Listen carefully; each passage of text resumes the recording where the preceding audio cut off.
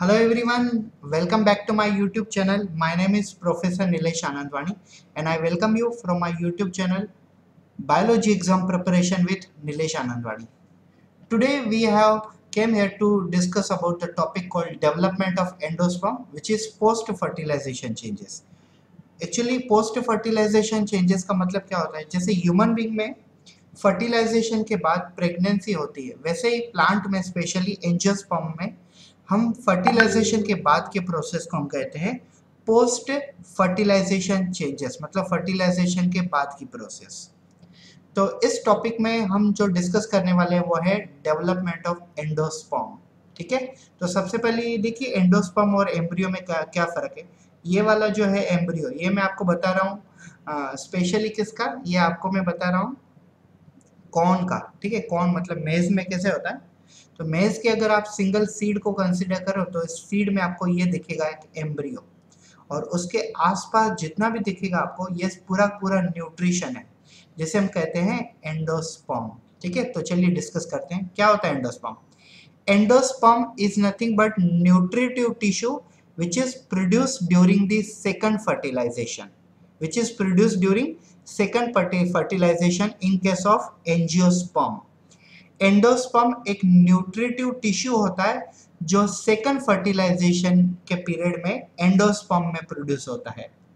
Endosperm is formed during second fertilization और you can say triple fusion endosperm is produce from union of a three cell two cell which are polar nuclei from female and one cell which is a pollen grain from male. Endosperm तीन cell में से बनता है। दो cell polar nuclear होते हैं female के और एक होता है मेल का पोलन ग्रेन और इससे एंडोस्पम बनता है। Endosperm is a completely nutritive which is giving nourishment to the developing embryo for the growth and development of embryo because we know that in case of a plant like angiosperm और any plant there is no placenta like organ in case of human being through the placenta mother provide nourishment to the baby through placenta but in case of angiosperm there is nothing like placenta so nourishment is provided by the endosperm okay so uh, जैसे हमें पता है कि plant में human being के जैसे placenta और इम्बिलिकल code जैसा कुछ नहीं होता तो प्लांट में नरिशमेंट किसके थ्रू पहुँचाया जाता है एंडोस्पर्म इस न्यूट्रिटिव टिश्यू के थ्रू पहुँचाया जाता है। अब मैं आपको दो चीज़ें इंपॉर्टेंट बातें बता देता हूँ, ठीक है? और वो दो चीज़ें हैं। First one there are there are some cases in which embryo totally absorb the endosperm such kind of a seed is called as a non albuminous seed और नॉन एंडोस्पर्मिक सीड ठीक है? मतलब कुछ सीड ऐसे होते हैं जिसमें embryo पूरा का पूरा न्यूट्रेंट को एब्जॉर्ब कर लेता है खा लेता है। तो ऐस, ऐसे कंडीशन में एंडोस्पर्म अगर ज़ीरो हो गया तो ऐसे हम कहते हैं नॉन एंडोस्पर्मिक सीड क्योंकि एंडोस्पर्म बचा ही नहीं है। It is also non as a non endospermic seed और एक नॉन अल्ब्यूमिनस सीड अभी नॉन अल्ब्यूमिनस सीड क्यों कहते हैं? क्योंकि एंडोस्पर्म एक प्रकार का न्यूट्रिशन है और अल्ब्यूमिन भी एक प्रकार का न्यूट्रिशन होता है। तो इसके लिए हम इसे कहते हैं नॉन अल्ब्यूमिन सीड समझ रहे हैं? पले पढ़ रहा है सबको? कई केसेस में ऐसे होता है एम्ब्रियो टोटली एंडोस्पर्म खा लेता है। तो हम कहते हैं नॉन एंडोस्पर्मिक सीड और नॉन अल्ब्यूमिन सीड एग्ज़ाम्पल अगर आप देखो तो ग्राउंड नट में पी में ग्राउंड नट को अगर हम ओपन करते हैं तो सीड सीड में एम्ब्रियो के अलावा कुछ नहीं मिलता है हमें। अंदर कुछ नहीं होता है, ठीक है? तो ऐसे केसेस में एंडोस्पर्म नहीं मिलता है पी में भी एंडोस्पर्म नहीं मिलता है। और दूसरे होते हैं एंडोस्पर्मिक सीड मतलब there are certain cases in which embryo do not consume endosperm totally कुछ ऐसे केसेस होते हैं जिसमें एम्ब्रियो टोटली एंडोस्पर्म को नहीं खाते हैं। तो इन केसेस को हम कहते हैं यस yes, इनको हम कहते हैं एंडोस्पर्मिक सीड और also known as a albuminous seed so this is about endosperm मैं आपको कुछ एग्जांपल बताता हूँ। सी ये भी ये देखिए कर्नल है ये भी एंडोस्पम है।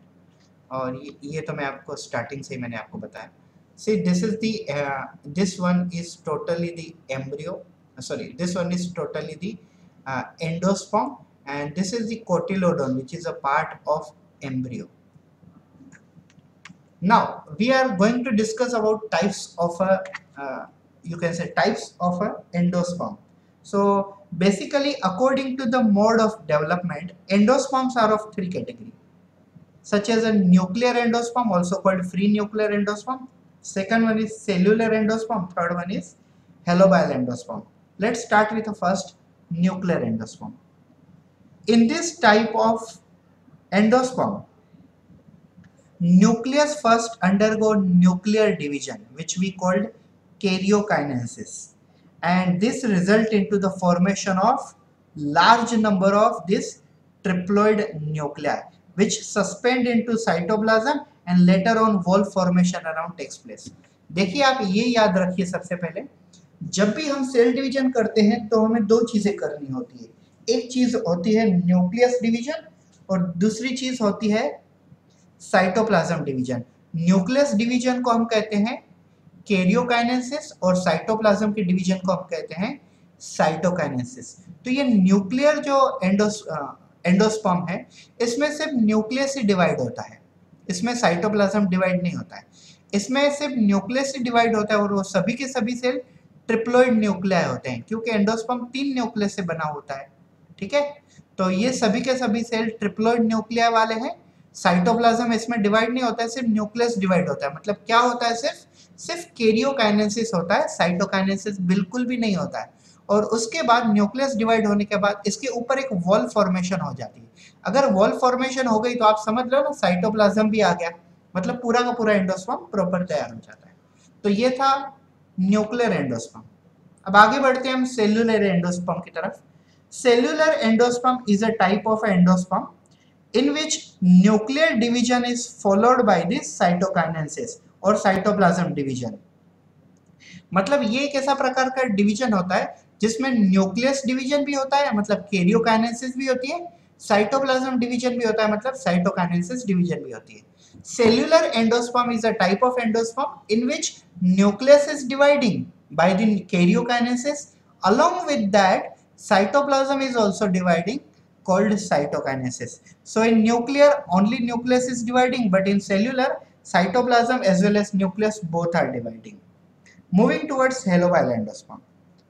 Halobial endosperm is a type of endosperm in which nucleus divide means karyokinesis happen along with cytoplasm divide cytokinesis also happen and after the formation of a complete endosperm mature it get divided into the two parts that's why it is called halobial means divided into bile divided into two parts helobial endosperm एक ऐसा प्रकार का endosperm है जिसमें nucleus division होता है मतलब केरियोकाइनेसिस होता है, जिसमें साइटोप्लाज्मिक डिवीज़न भी होता है साइटोप्लाज्म भी डिवाइड होते हैं और फाइनली इसमें मेच्योर होने के बाद ये एंडोस्पर्म दो टुकड़ों में डिवाइड हो जाता है। जैसे आपको बीच में लाइन दिख रही है, इस लाइन से ये दो एंडोस्पर्म, एक एंडोस्पर्म दो पार्ट्स में डिवाइड हो जाता है। So this concept is called helobial endosperm yes so ये था हमारा topic endosperm I hope so आपको ये पूरा का पूरा टॉपिक एंडोस्पर्म समझ गया होगा। अगर किसी को कुछ प्रॉब्लम है तो आप मुझे कमेंट सेक्शन में क्वेश्चन पूछ सकते हैं। ओके प्लीज़ वीडियो को लाइक कर दीजिएगा शेयर कर दीजिए अपने फ्रेंड सर्कल में और सब्सक्राइब करके बेल आइकन दबाना ना भूलें। Thank you so much